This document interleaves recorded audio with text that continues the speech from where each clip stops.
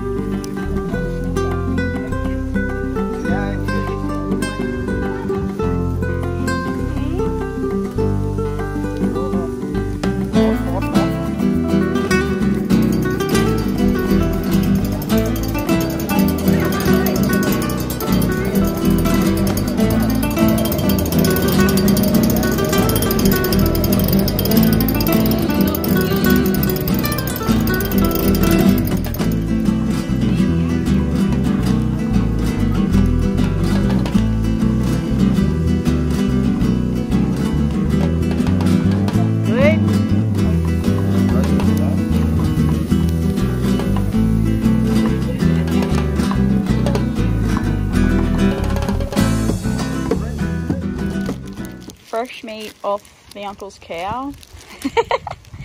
that got chopped up yesterday. Nice big piece. A Few pieces.